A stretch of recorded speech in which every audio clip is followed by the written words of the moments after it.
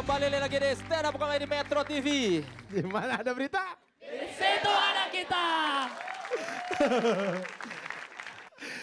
Oke, langsung aja. Langsung Gilang. Ya. Sudah siap? Ayo, Beri boleh. tepuk tangan yang meriah untuk Gilang Baskara.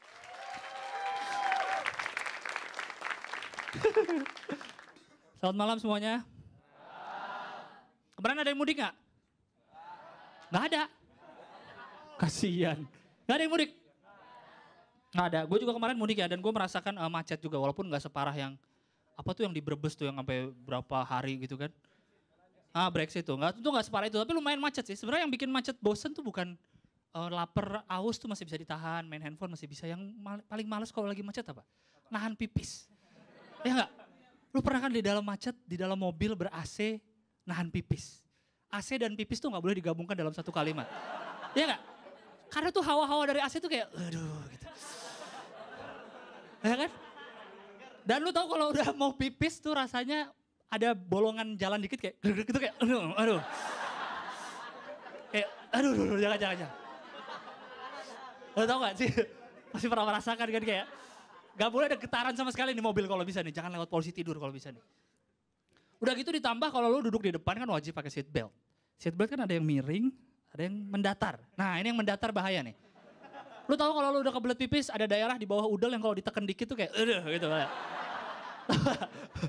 ya kan? Itu seat beltnya tuh pas di atas itu soalnya tuh kayak gitu kayak. Aduh itu kalau udah berjam-jam di jalan tuh nggak usah mudik. Di Jakarta juga kadang-kadang kan macet kan? Dan tuh kayak dan lu nggak bisa nahan nih. Untungnya tuh saat kemarin mudik gua nggak mati di jalan ya karena kalaupun mati gitu kan ditanya Tuhan kau masuk neraka masuk surga. Toilet Tuhan toilet toilet. Yang mana pun toilet lah toilet yang penting gitu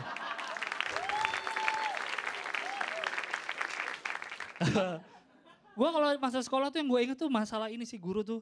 Guru tuh selain ngajar juga mereka tuh sebenarnya ada skill khusus yaitu barbershop. Lo ada pernah dicukur gak sih di sekolah? Gue pernah. Pasti pernah kan ya? Cowok-cowok biasanya nih. Eh, biasanya tuh kategorinya ngelewatin kuping. Ya nggak? Lewatin kuping dikit tuh pasti dicukur tuh sama guru tuh. Atau yang lebih gak enak tuh kadang dijewer. Ada yang lebih sakit dari dijewer. Diangkat jambangnya. Pernah lihat? saya? Pernah rasain gak? Aduh itu sakitnya luar biasa tuh. gitu. Ah diangkat tuh. Dan berita gue yang pertama ini ada hubungannya dengan cukur rambut. Wah, sensasi potong rambut di pinggir tebing. Asik ya. Mungkin pas eh, dia datang juga, Mas tolong modelnya eh, belah pinggir tebing. Wah, ada. Jadi ada sini tebingnya sini. belah pinggir sini tebing. Jadi kalau yang gue baca beritanya, kalau kalian cari di Metro TV ini beritanya nih baca, ini tuh si tukang cukurnya dia udah keliling dunia dia, du- 21 negara untuk nyukurin rambut orang. Tapi dia selalu pilih lokasi-lokasi yang kayak gini nih. Di pinggir tebing itu di atas gunung ini kan nyusahin yang mau nyukur. Lu berangkat dari rumah, wow pakai celana kargo, pakai sepatu bot, tuh kan udah bor, mau ke mana lu naik gunung? Nggak mau cukur rambut gitu, mau lu? Naik gunung. Wah cukur rambut doang. Ini kalau nyukur rambut di atas tebing ini berangkat-berangkat cepak nih. Nyampe atas gondrong baru, ah ayo cukur. Lama tuh kan ya. Belum campingnya segala macem kan. ini lanjut berita berikutnya. Nah ini yang tadi yang gue bilang nih soal Pokemon. Wah. Saran Anis agar Pokemon Go bisa bernilai positif. Ini buat kalian yang nggak jarang baca berita yang nggak tahu siapa nih Anis ngomong-ngomong. Ini tuh Menteri Pendidikan. Karena ini nggak dibilang kan saran Anis. Mungkin kalian siapa sih Anis ngasih-ngasih saran? Gua kasih tahu ya buat kalian yang kurang pergaulan dan lu kira presiden masih Soeharto, ini tuh menteri menteri pendidikan. Ya, menteri pendidikan. Anis Baswedan, ya tahu ya. Jadi kan eh, Pokemon kan, wah semua anak-anak main Pokemon kan. Jadi eh Pak Anies Baswedan biar nggak dianggap eh, negatif gitu kan main game anak-anak. Jadi itu disaranin eh, biar bisa bernilai positif tuh. Jadi dia pengen menyarankan ke developer Pokemon kalau Pokemonnya tuh ditaruh di tempat-tempat yang eh, ada nilai pendidikannya. Jadi ditaruh di museum katanya biar anak-anak tuh ke museum semua gitu. Tapi kan museum tuh kan banyaknya di daerah Jakarta Pusat, ya nggak? Anak-anak yang di Depok, di Bekasi tuh jalan terus sampai museum kasihan. Ambil di sini, jangan kata Pak Anies kita harus di museum. Gitu. Waduh, sampai sana nggak bisa pulang lagi Pak Anies kasihan dia nih. Dan juga kan katanya kan gue nggak main sih, teman-teman gue cuma banyak banget yang main. Katanya tuh Pokemon tuh banyak di masjid, ya nggak? Iya kan ya? Banyak di rumah ibadah katanya. Sekarang anak-anak punya alasan buat ke masjidnya keren ya. Lu semua punya alasan. Papa, mama saya mau ke masjid dulu. Subhanallah. Anak. Ke masjid. Dia nggak tahu aja dia di situ nangkepin Pak Ustadz. Wah. Pak Ustadz ditangkepin di masjidnya. Pak Ustadz minggir Pak Ustadz ada Pokemon saya tuh di situ Pak Ustadz. Dan gue tuh pengen ya kita tuh eh, kenapa ya di Indonesia tuh nggak pernah ada developer. Maksudnya game-game di handphone tuh udah banyak dari Indonesia ya kan ya.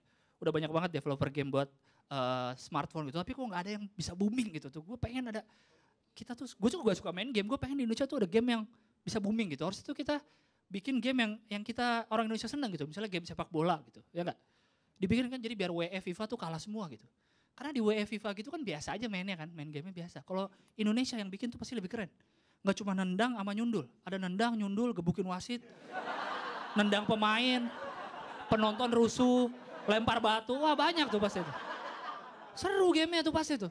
Jadi kalau main bola biasa kita main cuma dua player, ya ini bisa tiga. Tim satu, tim dua sama wasit satu lagi. Dia bagian kabur dia. Oh kabur ke mana nih gua nih? Bagian kabur. Seru pasti. Biasanya kalau lu main game ya nggak, di atasnya kan ada eh, skor, ada waktu, ada nama negaranya ya nggak. Kalau itu di kalau yang Indonesia yang bikin nggak pasti ada skor, waktu, ada tenaga, ada nyawa di situ. Wah, gila. keren.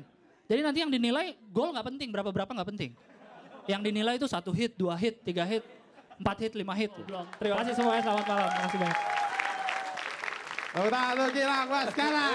Luar biasa sekali. Tapi itu Pokemon Go itu katanya Pokemon kan banyak di masjid juga ya. Nah katanya. Iya. itu- Kenapa dia taruh banyak di rumah Mungkin harusnya, ya? harusnya mungkin bikinnya tuh ini Imam Go. Kita nangkep imam. Mencari imam. Nangkep imam, kasihan loh yang lagi sholat. Ah, imam saya mana nih? Di Pokeball, ayo di Pokeball. Kita akan kembali lagi dengan Ya satu komik terakhir. pokoknya, pokoknya jangan ke mana-mana tetap di Stand Up Comedy Metro TV. Di mana ada berita?